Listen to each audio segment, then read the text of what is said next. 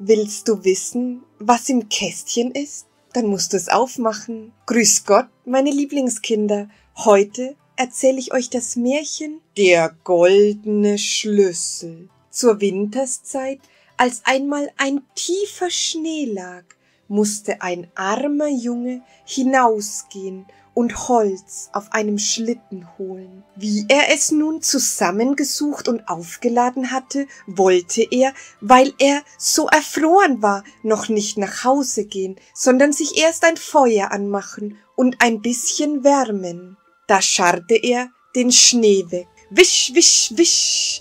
Und wie er so den Erdboden aufräumte, fand er einen goldenen Schlüssel. Nun glaubte er, wo der Schlüssel wäre, müsste auch das Schloss dazu sein, grub weiter und fand ein eisernes Kästchen. Ei, dachte er, wenn der Schlüssel nur passt, denn es waren gewiss wunderbare und köstliche Sachen darin. Er suchte, aber es war kein Schlüsselloch da, Endlich fand er doch noch ein ganz kleines und probierte, und der Schlüssel passte gerade. Da drehte er ihn einmal herum.